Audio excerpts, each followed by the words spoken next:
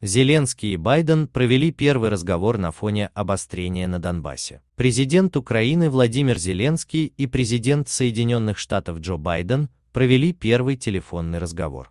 Беседа двух лидеров состоялась на фоне обострения на Донбассе и наращивания российских войск у границы Украины. Об этом сообщает источник РБК «Украина» в офисе президента. Главы государств обсудили ситуацию на Донбассе. Напомним, ранее сообщалось, что Белый дом откладывает телефонный разговор с Зеленским, ожидая от президента Украины больших усилий в борьбе с коррупцией и ряда реформ. Как объяснил заместитель помощника госсекретаря США Джордж Кент, разговор должен быть подкреплен действиями со стороны Украины.